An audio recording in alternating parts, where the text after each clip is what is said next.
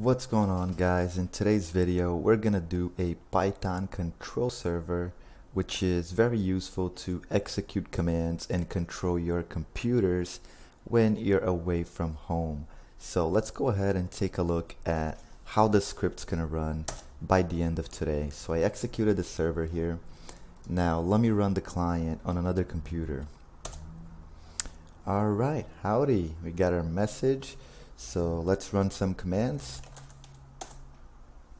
We get a response. So we're executing these commands in our client right now. You can see if I do a dir here, uh, we can actually go ahead and do a netstat to show the connections.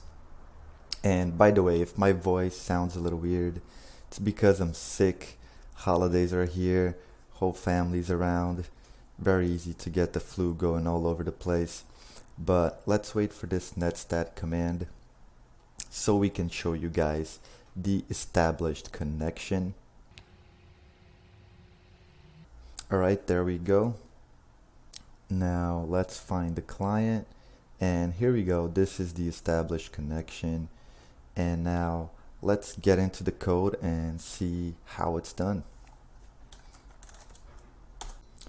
So this time around, we're going to program our server and client in Python 3. And that's because Python 2 is nearing end of life. So I also love to learn new stuff. So it just makes sense to do the project in Python 3. This is part one of maybe seven or eight. And yeah, let's dive into the code. So let's start off by importing the socket and OS libraries. And then let's leave a comment here for socket configuration. And we can go ahead and save this. Uh, in our desktop we'll call it server.py alright so let's go ahead and initialize the socket right now. So socket.socket .socket and socket.af inet socket.sock stream. Cool. Now on the server we're gonna bind to 0 dot 0 dot 0 dot 0 which is all the available IP addresses. And let's choose a completely random port number like always. And we're gonna go ahead and listen for a single client alright cool. So any connection that is incoming we're gonna go ahead and accept it like so. And now we're gonna need a true loop and this is where we'll go ahead and receive the messages. So receive data we'll do data s dot receive we'll do a by here check for end of command. Alright, so after receiving the data, we need to check for the end of a command or the output, right? So we're gonna do if data and this is one of the things that we have to do with Python 3 that we did not have to do previously and that is to decode a bytes like object into a string all right and you don't have to fully understand this but you just need to know that whenever we receive this EOFX that means we reached the end of the output from the client and we're gonna go ahead and do the following set of instructions right? So the first thing we're gonna do is print the data without the end of effects here so we'll do that like this, print. Another thing with Python 3, instead of doing print and with the quotes, you have to do parentheses. It's just minor things that are different. We'll do data and then minus 4 so we can extract this string over here and we do have to decode as ASCII alright otherwise we'll get some errors then we'll go ahead and get next command. So we'll do next command equals input So in Python 2, this would have been raw inputs, but again, minor change. Shell, like that. Then we go ahead and send that ish. Whoops. Ish. Like that. And let's do a check if the next command is quit then we can break out the server and also send a message to the client so that the client can shut down the client script. So next command dot decode. Oops, we need to encode, not decode this time. Like that, and we'll break. Else, we're gonna go ahead and send without breaking. We also need to encode again. Cool. And we'll put an else over here. I guess we can put a comment here as well.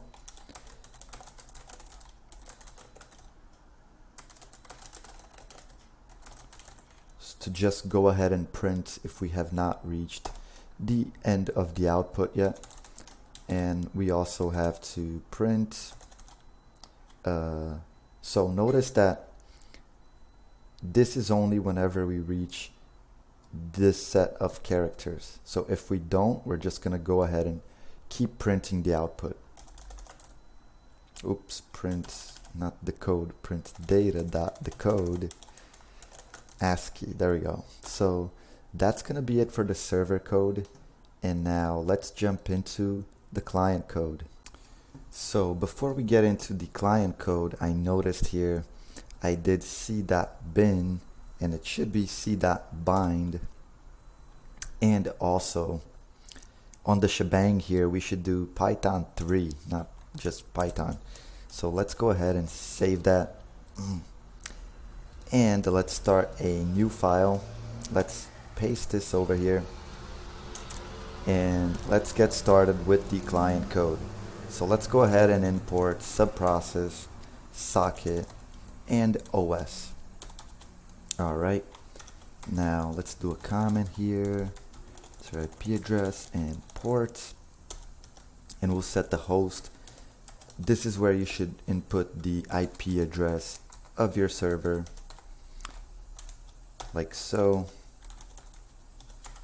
And the port. They should both match. So this port should be the same as the one defined over here. Alright. Cool. So let's get started. Configure socket connection. I'm gonna go ahead and create our regular socket object here. And we'll do socket.af inet socket.sock stream. And we're gonna go ahead and connect to the server like that. And let's send a message. We'll just send a message saying howdy which is our usual message. And remember guys we have to pass these four characters over here. And somebody calls me right now amazing so let's go ahead and encode alright now let's begin with the main loop at this point. While true, we're going to go ahead and receive data. And if the data, and we need to decode it into a string, is equal to quit, so this is the first case here. We're just going to go ahead and break from the client. Okay, so we'll go ahead and break out of the loop once we receive the quit message. Otherwise, let's do if we receive the change directory command so we need to get only the first two characters. So we'll do 2 uh, equals to cd so basically we're gonna do this because otherwise it's just not possible to change directory from the server. So this is going to allow us to go into different directories. And we'll try OS, change dir, and we'll have to get rid of the first three characters because it's CD space. So we'll do data dot decode. And then we need to do three like that. All right and if the user passes a non-existing directory for any reason we'll just pass.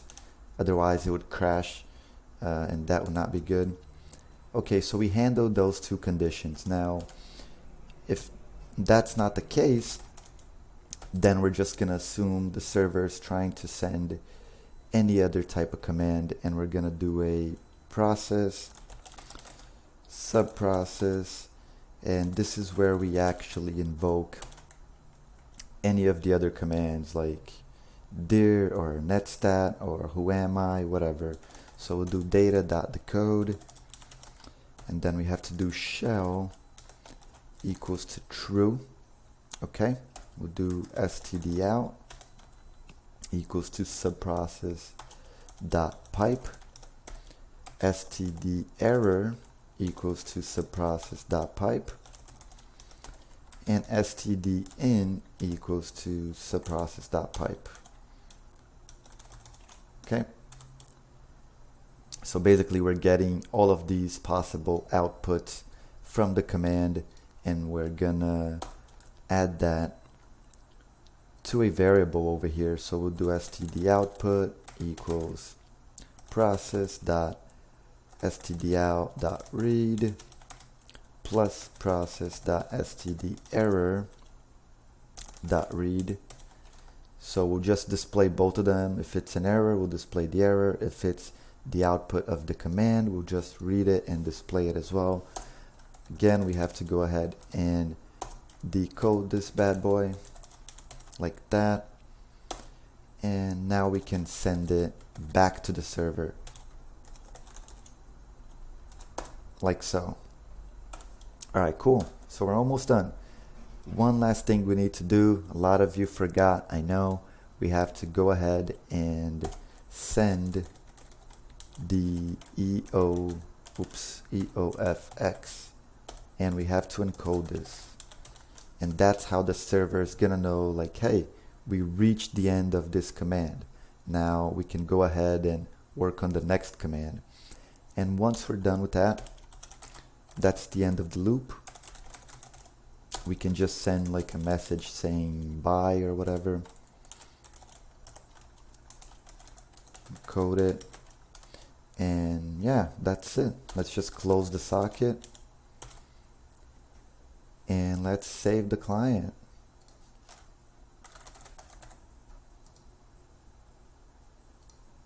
There we go.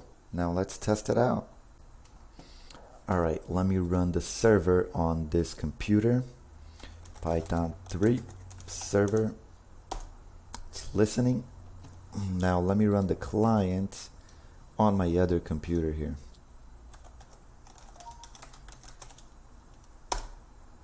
Howdy, we got our message. Who am I? There we go. Let's do a dir here. We got the desktop directory. Now let's try to go into a different directory. Nice. You can see it changes directory accordingly. And yeah, if we were to go like cd a random name here, you can see it doesn't crash the script, which is amazing. Now, yeah, that's basically what we wanted to do for part one. We're going to be adding encryption to this. We're going to be implementing multiple clients and a lot more good stuff. So this is part one of maybe eight parts. I don't know. Hope you guys enjoyed this one and I'll see you next time.